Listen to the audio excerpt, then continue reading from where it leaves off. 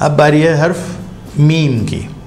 Meme meme के लिए म से निकलेगी साउंड और मीम पहले हम बताते हैं कैसे लिखा जाता है।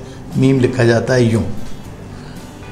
हाँ अब मीम से जो लफ्ज़ बनते हैं, उनमें एक लफ्ज़ है माल्टा। एक लफ्ज़ है मछली। एक लफ्ज़ है मक्खी।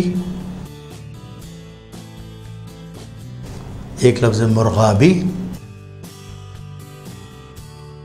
और एक लफ्ज़ है मुर्ग या मुर्गा।